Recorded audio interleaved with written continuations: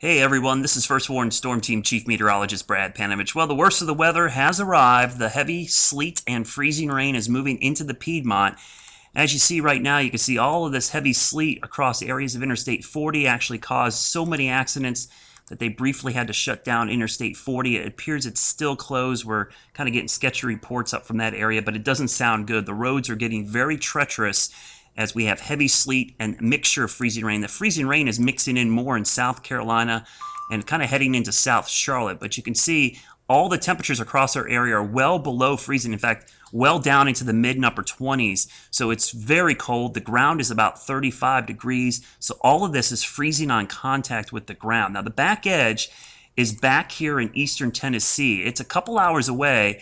This back edge is likely going to arrive, I would say, after 8 o'clock and move to the east. So that'll end the precipitation, but it doesn't end the problems because overnight temperatures will remain below the freezing mark, which is going to keep everything frozen over. And we likely could see some areas of dense fog, and that fog could be freezing fog. Remember, fog is just water droplets in the air. If the air temperature is below 32, that water will freeze on contact anything the fog touches, you get what we call rime ice, and that could just further make the roads worse. Here's a close look at first warn Doppler radar.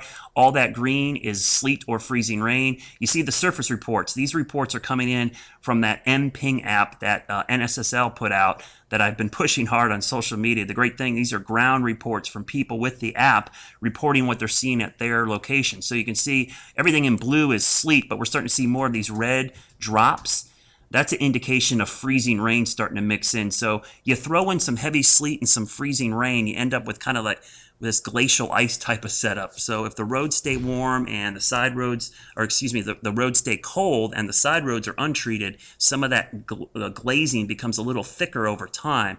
I really think we're going to see ice issues on the roads lasting all night. There's only so much you can do with brine and salt. So it really is from right now through the rest of the evening that the roads will get pretty treacherous. We're keeping an eye on it. Megan Dennehy is behind me on our live blog. Um, if you want to go check that out, ask questions, pass along reports, we'd love to hear them. We'll be on at the top of the hour at 3 o'clock, and of course, we'll have complete details at 4, 5, and 6 p.m. on NBC Charlotte.